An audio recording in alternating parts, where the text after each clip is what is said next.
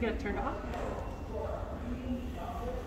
Um, nobody's around, so I decided to watch.